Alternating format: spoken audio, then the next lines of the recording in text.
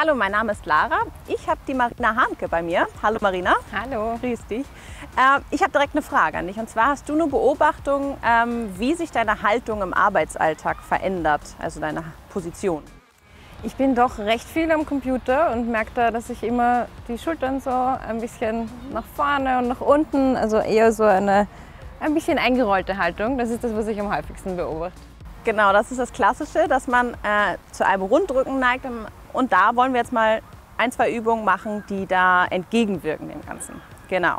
Wir bringen die Hände hinter den Kopf, ziehen die Schulterblätter nach unten und dann führen wir die Ellbogen zueinander, machen den Rücken rund und gehen wieder in die Aufrichtung, öffnen, groß machen, Schulterblätter fest zusammenziehen und wieder rund machen. Und nochmal schön kontrollierte Bewegung, aufrichten und noch einmal schließen und öffnen. Jawohl, super. Das ein paar Mal wiederholen. 10 bis 12 Mal. Vielen Dank. Bitte gerne. Dann viel Spaß beim Nachmachen und bis zum nächsten Mal.